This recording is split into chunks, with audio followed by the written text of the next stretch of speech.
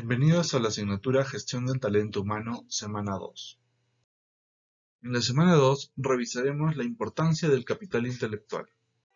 Analizaremos casos que nos ayuden a entender de qué forma dependen las organizaciones de las personas a un nivel intelectual. Revisaremos casos que nos ayuden a reflexionar sobre cuándo una persona es tratada como recurso y cuándo es tratada como asociado de la organización.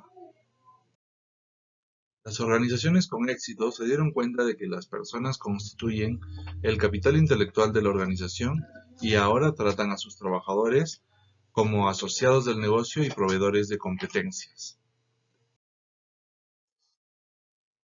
¿Cuál de los stakeholders primarios de una organización constituye su capital intelectual?